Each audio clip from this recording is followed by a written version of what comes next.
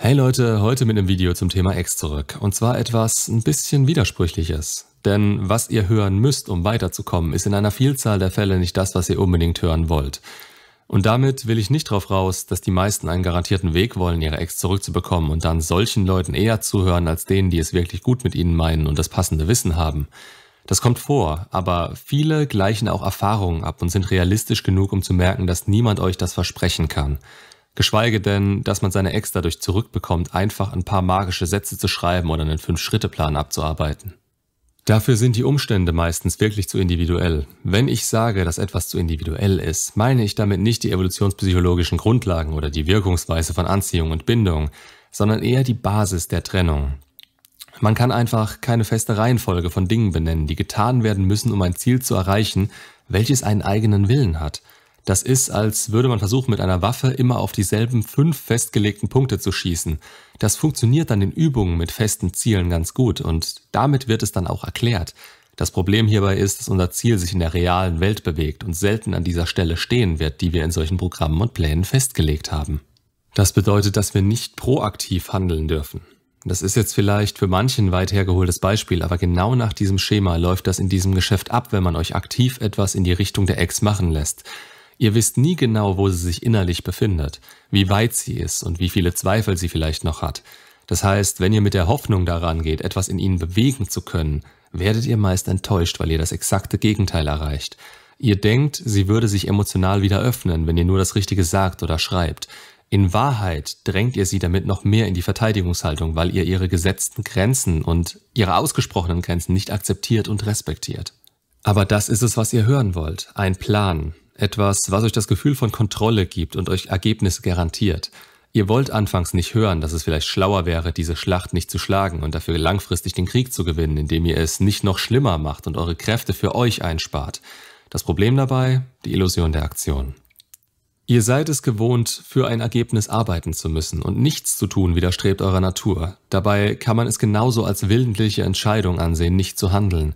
Das ist manchmal sogar schwerer, weil man daran zweifelt, damit etwas zu erreichen. Die Sache ist nur die, manchmal erreicht man mit Schweigen und dem richtigen Handeln tausendmal mehr, als wenn man einen unüberlegten Schnellschuss startet und sich nur darauf verlässt, was andere einem als gut gemeinten Tipp mit auf den Weg geben. Diese Welt funktioniert auf eine bestimmte Art und Weise. Tendenziell funktionieren wir Menschen nicht so unterschiedlich, wie das in der Gesellschaft gerade propagiert wird. Gut, hier muss man vielleicht Männchen und Weibchen trennen, denn sie sind in ihrer Funktionsweise komplementär. Also sie ergänzen sich und haben damit unterschiedliche Stärken, Schwächen und Arten mit Situationen umzugehen. Aber das kann man verstehen und es ist niemals eine Ausrede zu sagen, dass man das Gegenüber eben einfach nicht verstehen kann. Denn die Konsequenzen jeder Aktion werden folgen und diese beruhen darauf, wie wir funktionieren. Deshalb kann ich so gut voraussagen, was passieren wird, wenn ihr mir eine gewisse Grundlage eurer Situation schildert und wie ihr in dieser zum Schluss gehandelt habt ist natürlich eine außergewöhnliche Fähigkeit und grenzt schon an Hellseherei, wenn ich jemanden, der keine Ahnung von diesen Dynamiken hat, erkläre, dass seine Frau so und so handeln wird und das dann auch so passiert. Aber es ist etwas, was schlichtweg auf Fakten von Anziehung, Bindung und maskulin-femininer Polarität beruht. Und das kann jeder lernen, wenn er bereit ist, es zu verstehen. Jetzt sind wir an dem Punkt angekommen, auf den ich raus will.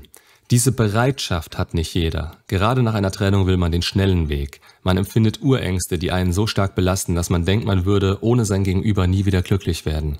Das eigene Interesse an der Person steigt, das Interesse von ihr an sich sinkt, ihr Wert steigt, euer für sie sinkt. Und in dieser Position seid ihr relativ machtlos. Ihr könnt eigentlich recht wenig tun. Gerade wenn schon der hässliche Satz Ich habe keine Gefühle mehr für dich gefallen ist. Sehr vieles, was in einer Trennung gesagt wird, ist irrelevant. In gefühlt neun von zehn Fällen handelt es sich um Anziehungsverlust. Und im Versuch, diesen Verlust an Gefühlen zu verstehen, sagen Leute, die sich trennen, das, was ihnen am sinnvollsten erscheint und euch anfangs am wenigsten verletzt. Vielleicht pfeifen sie auch drauf und ghosten euch direkt oder werden eiskalt, damit ihr keine Chance wittert, wieder zusammenkommen zu können. Das ist aber alles egal. Anziehungsverlust ist Anziehungsverlust. Gefühle kann man nicht verhandeln, weder mit sich selbst noch mit ihnen. Bei euch ist das wichtig zu verstehen, weil ihr durch einen gewissen Prozess durch müsst, um wieder unabhängig, unbedürftig und glücklich zu werden. In Hinsicht auf sie ist das wichtig, weil sie gerade emotional nicht offen für euch sind und jede Aktion von eurer Seite so aufgefasst werden wird, wie sie sich gerade fühlen, wie sie euch einschätzen Und in ihren Augen seid ihr ihr Ex, mit dem sie nicht länger zusammen sein wollen. Also habt ihr keinen besonders guten Stand. Meldet ihr euch bei ihnen oder nutzt Aktionen, um sie zurückzugewinnen, da habt ihr einfach die Arschkarte.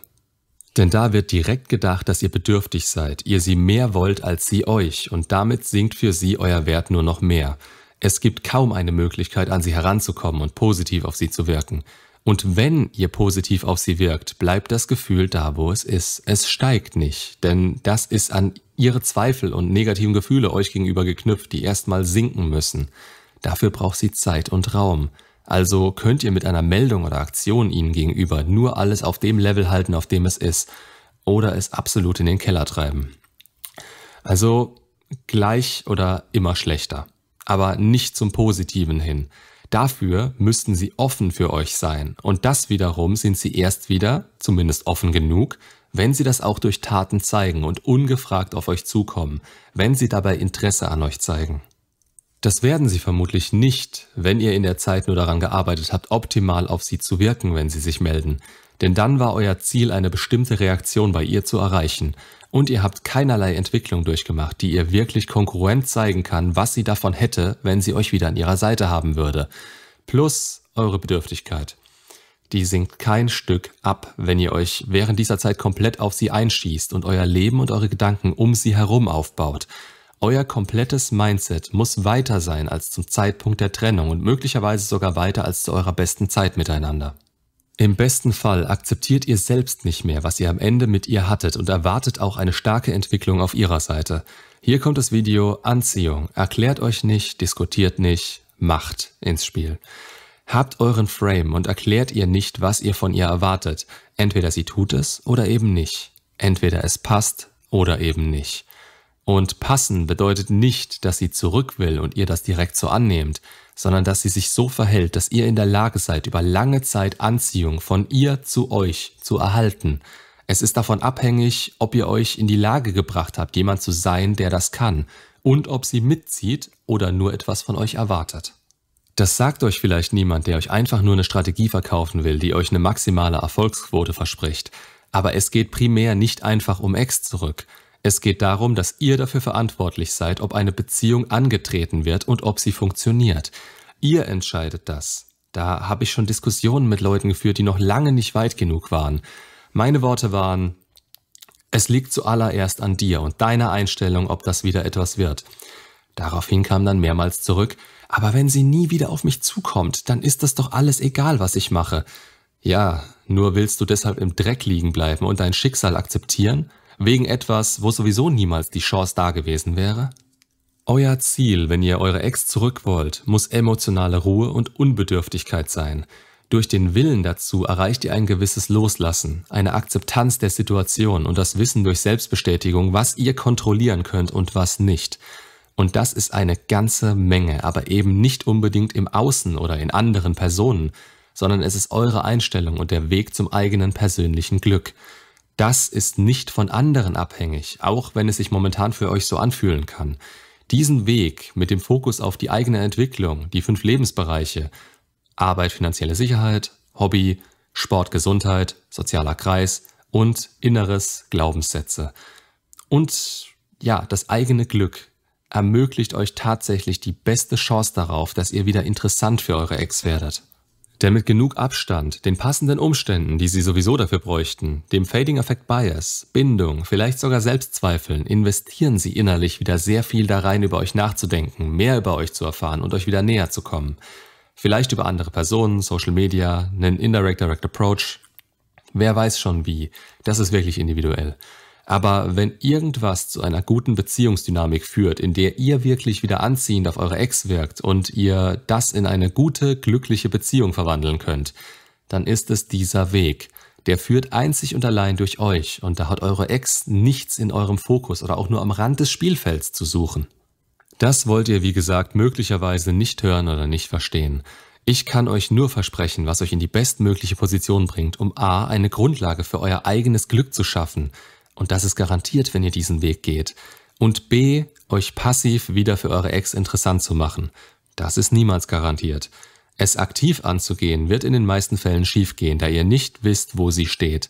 Und zu versuchen, das herauszufinden, schadet eurem Mindset und ihrer Meinung von euch. Es setzt euren Wert noch weiter runter und kostet sehr wahrscheinlich Respekt. Und Respekt ist die absolute Grundlage für Anziehung. Ohne Respekt werdet ihr niemals mehr etwas bei dieser Person auslösen, außer vielleicht Mitleid. Ihr seht, es ist paradox. Ihr müsst loslassen, um eure Ex zurückzubekommen. Ihr müsst euch in eurem Tempo, aber so schnell wie euch eben möglich von ihr abwenden. Ja, ihr müsst verarbeiten, aber ihr verarbeitet die Trennung und nicht sie. Sie ist immer noch irgendwo auf der Welt und hat selbstbestimmt entschieden, euch in eurer Funktion als Partner zu degradieren. Sie sieht euch nicht mehr als gleichwertig. Und aus der niedrigeren Position heraus könnt ihr aktiv nichts mehr erreichen oder auslösen. Das ist auch nicht eure Aufgabe oder generell an euch. Das kann in ihr passieren. Konzentriert euch in der Zeit auf Dinge, die ihr kontrollieren könnt. Eure Entwicklung. Dadurch bekommt ihr am wahrscheinlichsten wieder eine Chance. Macht's gut und bis zum nächsten Video.